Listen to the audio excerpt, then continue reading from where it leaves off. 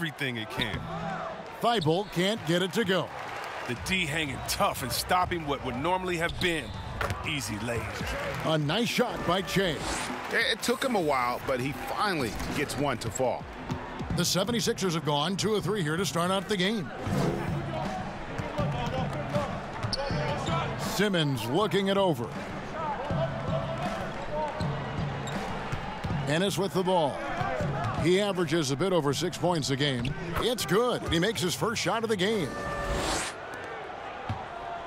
Minnesota shooting well off their usual numbers, around 29% so far.